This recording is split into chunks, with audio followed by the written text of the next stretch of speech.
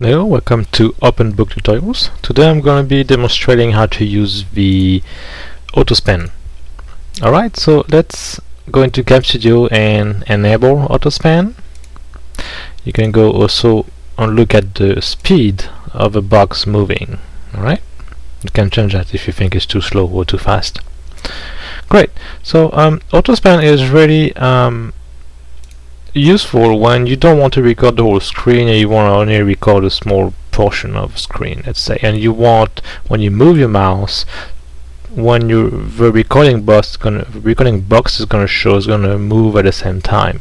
So let's just uh, try I'm gonna make a fixed size of 220 by 240 uh, let's record I'm gonna go here on the corner to start with.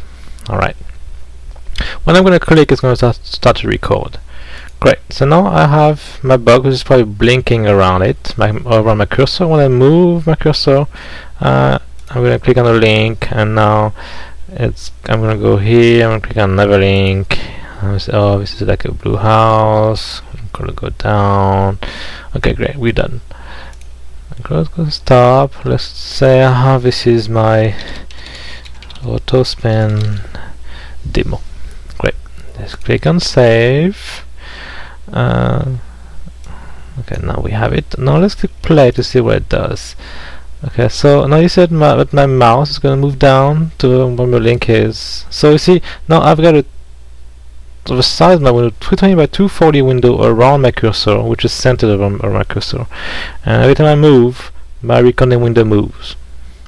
So it is quite useful you know if you don't have much space and if you want to keep the quality very high in your in your recording